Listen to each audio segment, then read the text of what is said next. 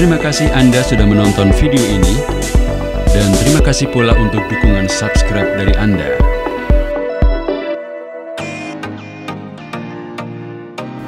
Daniel Orsato awalnya ditugaskan memimpin laga antara Milan dan Juve, namun tiba-tiba harus digantikan oleh wasit lain.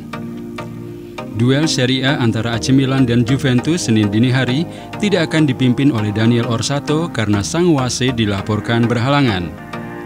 Menurut beberapa laporan di Italia, wasit berusia 46 tahun itu tidak akan bisa bertugas di San Siro untuk pertandingan krusial di papan atas antara Rossoneri dan Bianconeri. Untuk itu, Asosiasi Wasit Italia atau AIA akan menunjuk perangkat pertandingan yang lain sebagai pengganti Orsato. Il Corriere della Sport mengatakan bahwa salah satu di antara Marco Di Bello, Davide Massa atau Paolo Valeri bisa ditunjuk sebagai wasit yang bertugas. Di Belo awalnya ditugaskan sebagai wasit VAR untuk laga di San Siro tersebut.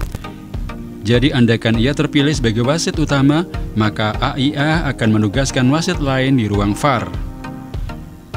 Calcio Mercato mengkonfirmasi absennya Orsato, namun tidak memberikan alasan lebih rinci mengapa sang wasit senior Italia itu tidak bisa memimpin duel antara Milan dan Juve.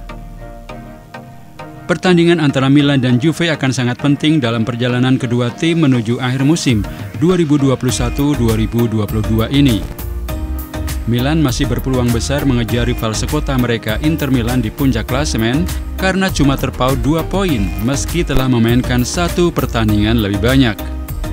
Sementara Juve yang berjarak 7 poin dari Milan yang duduk di peringkat kedua membutuhkan kemenangan untuk terus mempertahankan asa mereka masuk ke empat besar atau zona menuju Liga Champions musim depan.